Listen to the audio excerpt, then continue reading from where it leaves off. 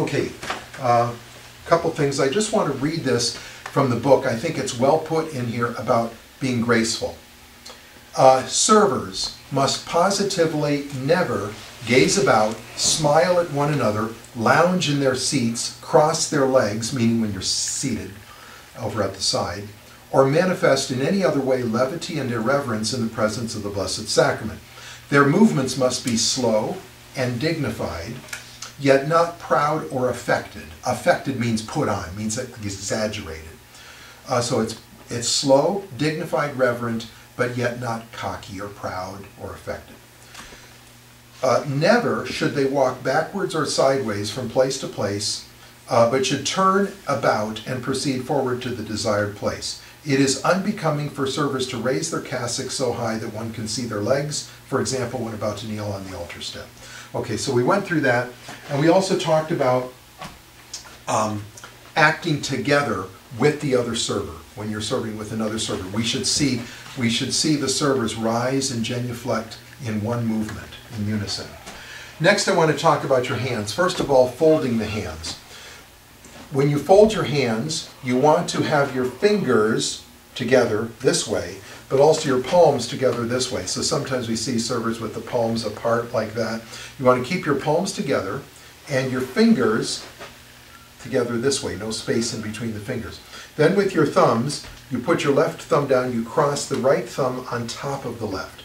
You hold your hands against your breast, pointed upward. They shouldn't be too low, they shouldn't be too high where they're up into your chin or your face. So this is how I'm going to look with my hands at my breast, pointed upwards to God, right thumb over the left, fingers together, hands together. When you're not doing anything with your hands, that is the position to keep your hands in all the time. Your hands are always in that position until it's time to do something with your hands. Now, while one hand is occupied, such as holding the cruet, I'll hold the cruet in my left hand, the right hand is over my, actually, most of the time you're holding your cruet in your right hand, take that back. But your other hand is, is flat on your chest, like this. And then as soon as the priest takes the cruet, then I'm going to fold my hands. And when he returns it, I'll put out my right hand. So that's one hand being occupied. The uh, another thing about the hands is we'll go into making the sign of the cross. Um, the, the large sign of the cross, when you make the sign of the cross in one smooth movement, you're going to put your left hand, fingers together, flat towards the bottom of your breast, which means you like your breastbone, where that is, like right under that, not all the way down on your stomach, but right at the bottom of your breast. And with your right hand, fingers together, you'll touch your forehead as you say the words on the forehead, the breast right above your, your other hand, and then left shoulder, right shoulder. Now, one thing you want to be careful when you move from the right shoulder to the left shoulder is not to have your elbow out. Your elbows always stay close to the body. Sometimes we see servers do this, and you know it looks disedifying from behind. So you you make the sign of the cross by keeping that right elbow close to the body. All right, so it's going to be in nomine Patris et Filii et Spiritus Sancti. Amen. And as you say Amen, or English, in the name of the Father, and of the Son, and of the Holy Ghost. Amen. Then you fold your hands again. Don't, some people have this practice of making the sign of the cross and then touching their breast again afterwards. Any little practices like that, um, that one does personally, don't bring them into the church, into the sanctuary. When you're serving, you should follow the rubrics of serving, and that would be some. Some have a little thing of like they make a little sign of the cross and they kiss their thumb and their finger crossed, like a little cross. I don't have any objection to that if it's on one's own piety, but not in the sanctuary, not when you're serving, because we should follow the the church um, rubrics. So making the sign of the cross again. I'll just do it one more time. One smooth movement. In nomine Patris et Filii et Spiritus Sancti. Amen. And the other sign of the cross is the little sign of the cross at the gospel, which is forehead, lips, and breast. And that is made with the four fingers stretched out straight, like this, together again, not, not spread out. And with your thumb, the flesh part of the thumb, not the nail side, but the flesh part, you'll make the small sign of the cross on your forehead, which means just a small sign of the cross, forehead, lips, and breast. And then you fold your hands. Uh, this is an area where we see a lot of servers making, you know, little, all over the place, uh, making big movements. There's, there are three tiny little crosses. And the cross, by the way, for the Latin rite, is what we call the Greek cross, which means that the two arms of the cross should be equal length, meaning up and down. You know, a, a Latin cross would be like this, where the, the arm of the cross or the crossbeam is up towards the top. But a Greek cross, all four parts that come out from the middle are the same length. So that, that would be how you would make this little sign of the cross. And again, it should be little, not these big sweeping movements. And again, left hand on your breast until you're done, and then you join, join your hands. So I think that's it on the hands, sign of the cross. Now I'm going to talk about the bows. And this is one area of discrepancy between this book and other books that you might find on serving.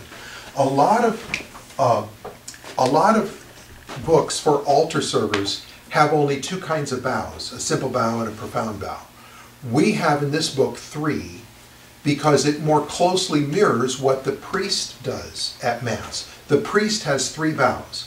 One is a bow of the head, the other is a medium bow, which would include the head and the kind of the upper torso, the shoulders, and then the third is a profound bow, which is bowing, bending from the waist. Properly made, standing, and I'll turn sideways, a profound bow of the head would be like that. We make it the name of Jesus. The glory be to the Father. It's a profound bow of the head. The medium bow is going to look like this, and that is said at the Misereatur, for the priest confiteor. After he says his confiteor, you say the Misereatur. Also, at the end of the prayers of the foot of the altar, there are several uh, versicles and responses, and it begins with Deus tu conversus vivificabis nos. And the priest does that, so you would bow a number two bow, as I call it, a medium bow. Then the third bow, if I were standing from my waist, I would bow, that's a profound bow. And the rubrics tell us that the, the profound bow should be such that if I were to put my knee, my fingers down, my fingertips down, they would either touch my knees or almost touch my knees. So that's a way to, to gauge making a profound bow from a standing position. Now you're going to be kneeling for the most part when you make these bows. So again, a number one bow, bow of the head. Number two bow would include the shoulders and the upper part of the torso. Number three is from the waist and a more profound bending of the body. But don't go overboard. Now when you're what I mean by that is when you're bowing profoundly, like for the confiteor, your head should not be to the floor or to the step in front of you. So this is a profound bow for the confiteor. And another thing not to do is to sit back on your heels when you're in a profound bow. You just simply bow over forward, and that's another reason for not going down too far. So don't sit back onto your heels, uh, and you bow forward profoundly, but not all the way to the floor or the step in front of you. Okay, so three bows, and number one bow, when I say number one bow, bow of the head. Number two, a medium, kind of in between the, the bow of the head and the bow of the body. And then a number three is a more profound bow of the whole body. I already talked about genuflections, genuflecting on one knee. There is also a double genuflection. A double genuflection is made when the Blessed Sacrament is exposed and you come out into the sanctuary or you're leaving the sanctuary, you're leaving the altar, such as uh, exposition of the Blessed Sacrament. So let's say we have benediction, we have exposition, and then we're going to leave for a holy hour and then come back in later for reposition, benediction and reposition. We would do a double genuflection, which is like kneeling down. You go down with the right knee again, then the left knee, and then it's the number three bow, the profound bow, and then you stand and then turn and go the direction you're going. So that's a double genuflection. Even with the Blessed Sacrament exposed, you do not do that in the midst of the ceremony, whatever it might be, benediction or mass, such as during 40 hours. Uh, you would only do it when you come into the sanctuary and then when you leave, if the Blessed Sacrament is exposed. Um, I already talked about the surplice and putting it on. One of the things I want to mention regarding the surplice is I do not like short surplices. So the sleeve should go past your elbow.